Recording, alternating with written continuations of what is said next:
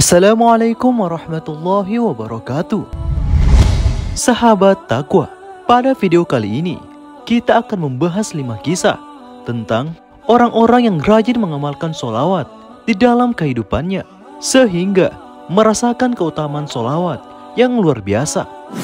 Bagaimana kisah mereka? Ayo kita bahas. Sebelum lanjut, mari dukung channel ini untuk berdakwah menyebarkan kisah-kisah Islam. Kisah pertama yaitu kisah seorang pemabuk yang ditinggikan derajatnya akibat membaca solawat. Kisah ini pernah diceritakan oleh seorang ulama besar yaitu Syekh Muhammad Nawawi Al-Bantani. Pada suatu hari, hiduplah seorang ulama yang bertetangga dengan seorang lelaki pemabuk. Dan tingkat mabuk lelaki itu sangat di luar batas kewajaran. Bahkan, si lelaki pemabuk tersebut tidak bisa membedakan hari sekarang, besok, dan juga kemarin. Karena lelaki itu selalu hanyut dalam minuman keras. Ulama itu pun selalu memberikan nasihat kepadanya, bahkan hingga berulang-ulang. Namun, pemabuk itu masih saja terus melakukan kebiasaan buruknya untuk mabuk-mabukan, bahkan hingga ia meninggal dunia. Namun yang sangat menakjubkan, ketika pemabuk itu meninggal dunia, ulama itu pun bermimpi bertemu dengan pemabuk itu. Ia melihat bahwa lelaki itu berada pada tempat yang sangat mulia dan lelaki itu memakai perhiasan berwarna hijau yang merupakan lambang kebesaran dan kemegahan surga. Lalu, ulama itu pun sangat keheranan karena mengapa tetangganya itu yang merupakan seorang pemabuk kelas berat mendapatkan kedudukan yang sangat mulia. Kemudian ulama itu pun bertanya kepada lelaki itu tentang mengapa ia bisa mendapatkan kemuliaan yang luar biasa seperti ini.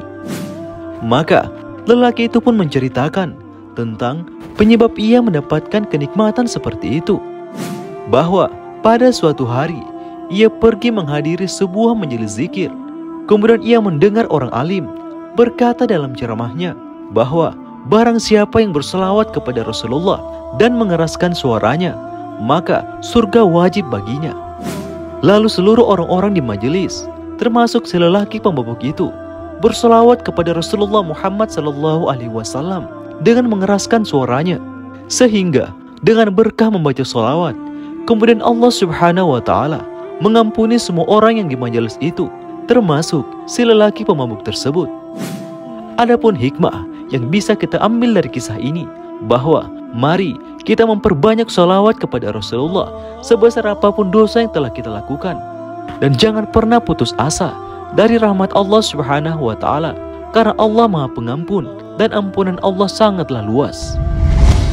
Kemudian kisah kedua yaitu kisah orang soleh yang sempat berhenti mengamalkan solawat kepada Nabi. Kisah ini terdapat dalam sebuah kitab karya Imam Ghazali yang berjudul Mukashfatul Qulub.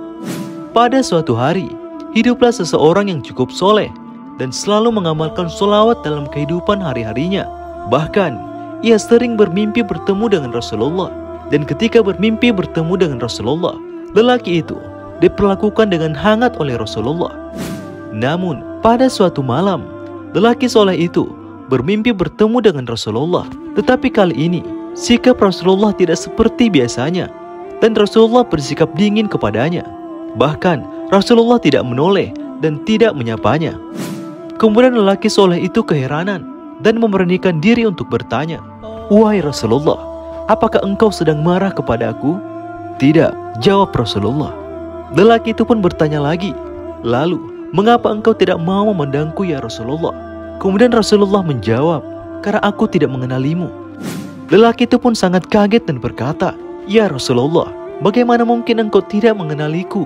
Padahal aku adalah umatmu dan aku pernah mendengar para ulama berkata bahwa engkau lebih mengenal umatmu dibanding pengenalan seorang ibu terhadap anaknya. Kemudian Rasulullah berkata, mereka itu benar, hanya saja anda tidak mengingatku melalui solawat, sementara aku mengenali umatku tergantung pada seberapa banyak mereka membaca solawat kepadaku. Lalu, lelaki soleh itu pun terbangun dari tidurnya. Hatinya begitu sangat sedih terhadap apa yang ia alami dalam mimpi. Tetapi, ia menyadari bahwa sudah sekian bulan ia memang tidak membaca solawat kepada Rasulullah. Maka ia kemudian bertekad di dalam hatinya untuk selalu membaca solawat Nabi sebanyak 100 kali setiap hari. Lelaki itu pun kemudian membuktikan tekadnya. Setiap hari ia selalu membaca solawat sebanyak 100 kali. Sehingga pada suatu malam ia kemudian mimpi bertemu dengan Rasulullah Shallallahu Alaihi Wasallam. Di dalam mimpinya, ia disapa dengan hangat oleh Rasulullah. Kemudian Rasulullah berkata kepadanya, "Sekarang aku mengenalimu dan aku memberikan syafaatku untukmu." Masya Allah, semoga kisah ini bisa memberikan motivasi kepada kita untuk rajin bersalawat kepada Rasulullah Shallallahu Alaihi Wasallam. Kemudian kisah ketiga, yaitu kisah Imam Sufyan as-Sauri dan keutamaan salawat Nabi. Kisah berikut ini terdapat dalam sebuah kitab yang berjudul Kifayatul Aqiyah karya Sayyid Bakri bin Sayyid Muhammad Syata Ad-Dimyati. Seorang ulama besar bernama Imam Sufyan As-Sauri bercerita bahwa ketika sedang melakukan ibadah tawaf bersama ayahnya, ia melihat seseorang yang hanya duduk berdiam diri. Ia tidak ikut tawaf bersama orang-orang yang sedang tawaf. Tetapi uniknya, orang itu hanya fokus membaca salawat Nabi dalam jumlah yang banyak. Kemudian Sufyan As-Sauri bertanya kepadanya, Wahai Tuan, Anda telah meninggalkan tasbih dan tahlil. Tuan hanya membaca solawat. Ada apa dengan Tuan?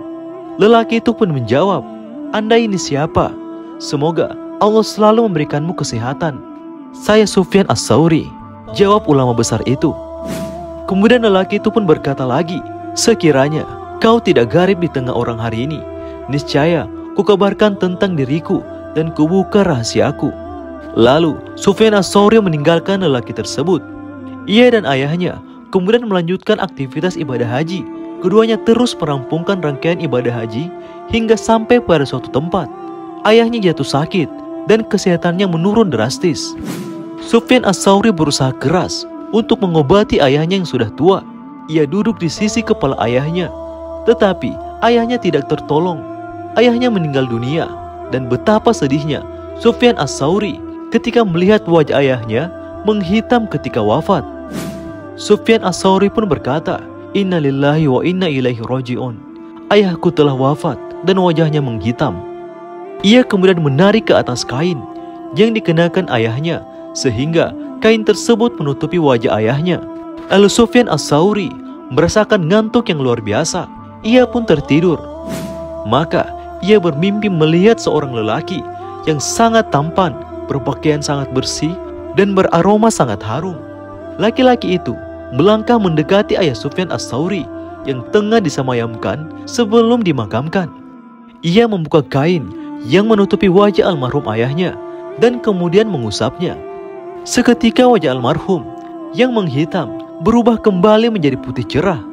Ketika hendak meninggalkan persemayaman almarhum, Sufyan As-Sauri memegang ujung baju pria tersebut dan berkata, Tuan ini siapa? Semoga Allah memberikan rahmatnya kepadamu. Allah telah mengerniakan anugerahnya kepada ayahku melalui tangan anda. Kemudian lelaki tampan itu berkata, Aku Muhammad bin Abdullah, sahibul Quran. Ayahmu termasuk orang yang melewati batas terhadap dirinya. Akan tetapi, ia adalah orang yang banyak membaca salawat kepada aku. Maka ketika ia kesulitan dan tersiksa di alam kubur, kemudian ia meminta tolong kepada aku. Dan aku adalah penolong orang-orang yang banyak membaca salawat kepada aku. Kemudian ulama besar itu pun terbangun dari tidurnya dan mendapati wajah ayahnya yang berubah kembali menjadi putih berkat syafaat dari Rasulullah Shallallahu Alaihi Wasallam. Kisah keempat yaitu kisah tragis dari orang yang membenci solawat. Pada suatu hari, hiduplah seorang ulama besar yang bernama Abdullah bin Mubarak. Ia sangat mencintai Rasulullah dan selalu mengirimkan banyak salawat kepada beliau. Setiap nafas yang dihembuskan tidak pernah lepas dari menyebut nama sang kekasih, baginda Nabi Muhammad Sallallahu Alaihi Wasallam, dan mulutnya selalu bertasbih membaca salawat. Namun pada suatu ketika, seseorang datang kepadanya. Orang itu sangat membenci bacaan salawat yang terus didengungkan oleh Abdullah bin Mubarak. Kemudian ia mengeluarkan senjata tajam yang ia bawa, lalu menarik lidah Abdullah dan memotongnya. Lidah Abdullah pun terpotong dan tergeletak di atas tanah. Abdullah merintih kesakitan dan orang jahat itu pun pergi meninggalkan Abdullah dan juga merasa bangga dan gembira karena ia tak akan lagi mendengar lantunan solawat yang mengganggunya. Akan tetapi, para malaikat tidak tinggal diam. Peristiwa kejam itu ditulis oleh mereka karena pada suatu saat, pada waktu yang tak disangka-sangkanya kelak, laknat Allah akan dihujamkan kepadanya sesuai kejadian kejam itu. Kemudian, dengan kondisi lidahnya yang terpotong, Abdul tidak bisa lagi membaca solawat dengan baik. Ia pun berkeluh kesah kepada Rasulullah. Mendengar keluh kesahnya itu, maka Rasulullah hadir di dalam mimpi Abdullah. Lalu Rasulullah mendengar tentang kejadian mengerikan yang dialami oleh Abdullah bin Mubarak. Maka dengan izin Allah Subhanahu wa taala melalui pertolongan Rasulullah, lidah Abdullah bin Mubarak pun tersambung kembali seperti sedia kala. Ia pun merasa sangat bersyukur dan bahagia. Lalu orang yang telah memotong lidah Abdullah dan juga membenci salawat Nabi langsung mendapatkan belasan dari Allah Subhanahu wa taala.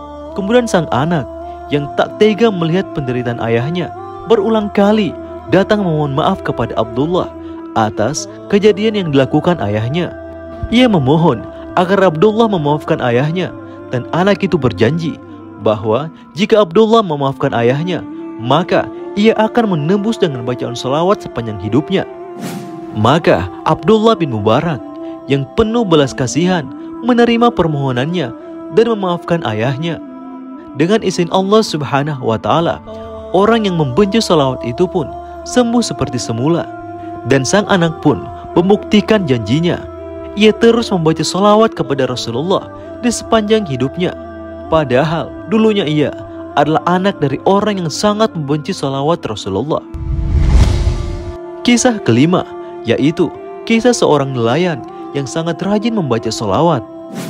Dikisahkan pada suatu hari hiduplah seorang nelayan yang sangat rajin bersalawat kepada Rasulullah.